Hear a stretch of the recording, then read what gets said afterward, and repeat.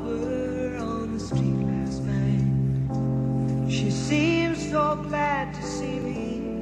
I just smiled. And we talked about